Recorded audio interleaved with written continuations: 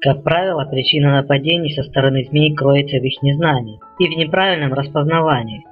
Уже часто путают с гадюкой. Ужи являются существами неядовитыми, но есть исключения, о чем речь пойдет дальше. У ужей более коренастые тела и отметка в виде буквы В или X на голове. Ужей также можно определить по их круглым глазам, в отличие от вертикальных зрачков гадюк. Это, пожалуй, самое главное отличие, поскольку к остальным нужно хорошо присмотреться, и всегда будете сомневаться, кто перед вами. Иногда уже обыкновенного путают с медяницей, которая является безногой ящерицей и не является змеей вообще. Медяница – это животное небольшого размера, 40-45 см, со стеклянно-серой или коричневой внешней окраской. Также водяного ужа часто принимают за гадюку, поскольку у него отсутствует характерный желтый воротник на голове, хотя остался характерный темный В-след. И таких змей часто убивают домовладельцы, поскольку не хотят иметь по соседству якобы ядовитую змею. Водяной уж, так же как и обыкновенный уж, не ядовит, но чтобы его распознать, нужно набраться смелости и приглядеться к нему. У него хорошо просматривается шашечная краска, из-за этого ее называют шахматной гадюкой или просто змеей. У него шашечная краска из светлых и более темных тонов оливкового цвета и круглые зрачки. Также таких уже опасаются из-за незнания, поскольку считают, что это гибрид гадюки и ужа, что невозможно, поскольку эти змеи относятся к разным семействам. Уж относятся к ужеобразным, а гадюка гадюковым. Также стоит помнить, что у гадюки шашечный окрас сливается в единую зигзагообразную линию на спине, а у водяного ужа такого нет, все шашечки не слиты, разделены. Но как уже я озвучил ранее, если вы сомневаетесь, что перед вами уж, смотрите на глаза. Круглые зрачки вам скажут, что перед вами однозначно уж. Есть еще один интересный и очень красивый уж, тигровый уж. Это ядовитый уж, как и бумсланг.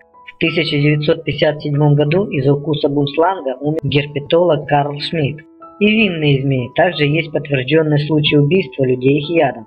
Возможно, также есть и другие ядовитые ужи. Эта змея обитает только на Дальнем Востоке России, Японии, Корее и небольшой части Восточного Китая. Он также известен тем, что при угрозе становится в позу как кобра, пытается даже раздуть свой капюшон и атакует. У него есть две защиты от хищников.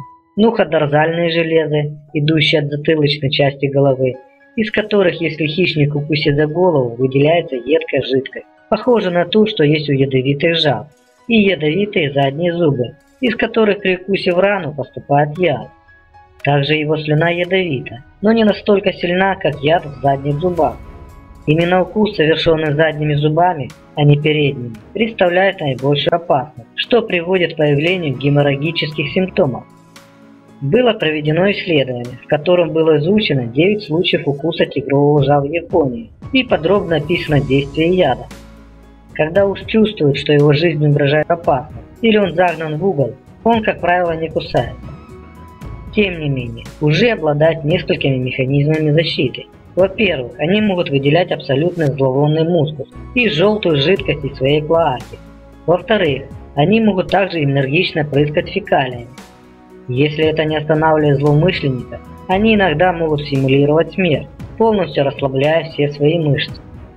Как правило, в результате любого змеиного укуса идет кровь, потому что зубы у змей очень острые, но также, как правило, это не приводит к заражению хотя любая рана может к этому привести, особенно если у вас ослаблен иммунитет или вы юного или пожилого возраста. Промойте рану с мылом и следите за ней. Обратитесь к врачу, если появятся какие-либо признаки инфекции. Но укусы небольших безвредных змей, как правило, заживают очень быстро. Ужи технически не ядовиты, но они выделяют протояд, как и североамериканские подвязочные змеи и водяные ужи. Но этот яд настолько слаб, что единственная реакция, которую он может вызвать у человека, это небольшое покраснение и отек.